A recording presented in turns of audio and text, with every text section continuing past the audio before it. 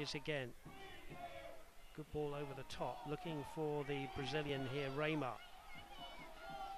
Reimer here, going past McFarlane. Reimer's in the box, easy tap in, and it's Luke Brennan to equal it up at 1 1. It was beautiful play from Reimer, and in came Luke Brennan, and he scores his second goal in as many games. It's FC Tulsa 1, Atlanta United 2 1. Brings the ball down, gets on the inline, and FC Tulsa poor defending.